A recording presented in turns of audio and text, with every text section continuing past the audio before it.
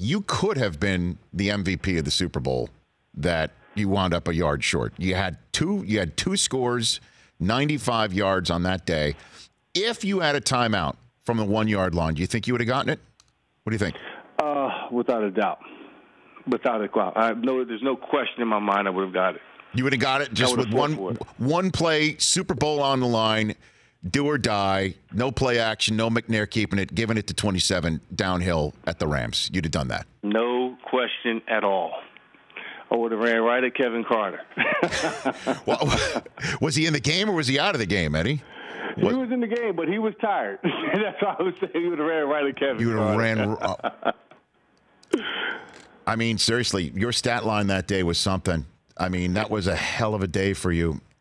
Do you, do you think about that often, Eddie, or no? Not really. You know, I, I, I do, um, but but not in a bad way. Um, it was a hard loss, but I was also inspired because I was like, man, you know, to get this far, I know I'm going to come back and be in this position again, and that really inspired me to work hard that off season.